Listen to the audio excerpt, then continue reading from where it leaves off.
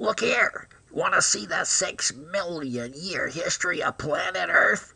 How, as human beings, we finally filled this place up? Hey, see the fires? That's how we started. We walked out from there on horses and buggies and boats and planes until this entire globe was filled with humanity. Look at it at night. Look at those lights. They're just gorgeous. And here comes the music which fills us. Everybody's music is everywhere else. The same with the food and the sports and the movie stars, the whole bang. Images, television, internet, satellites. This place is a hundred million communications a day.